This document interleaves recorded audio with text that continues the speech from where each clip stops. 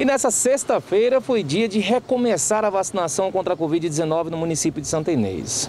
Na tarde da quinta-feira, a Secretaria de Estado da Saúde entregou o maior quantitativo de vacinas para a Regional de Santa Inês até o momento, para os 13 municípios pouco mais de 19 mil doses foram disponibilizadas para os municípios que fazem parte da regional. O município de Santa Inês recebeu 1.900 doses para a D2 e 2.081 doses para a D1. Automaticamente, na sexta-feira, os postos de vacinação foram reativados.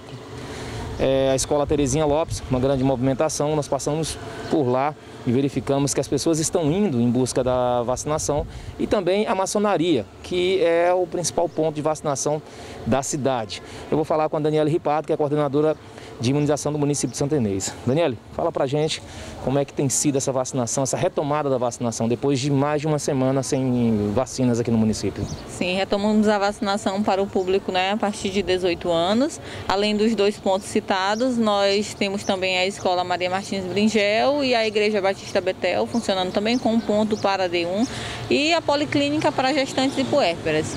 É, a maçonaria também está atendendo o público para a segunda dose. É, hoje, não diferente dos outros dias, a população atendeu o nosso chamado e a gente espera que durante todo o dia a movimentação seja é, dessa mesma forma e que a gente consiga fazer a aplicação de todas as doses ainda hoje.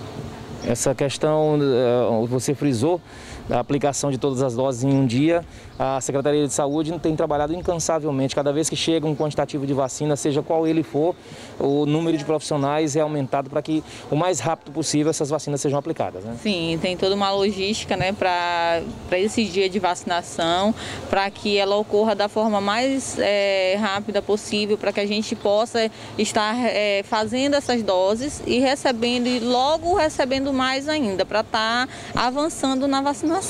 Temos um número pequeno de faltosos, né? E, mas a maioria das pessoas tem procurado os pontos no dia que está aprazado na carteira de vacina.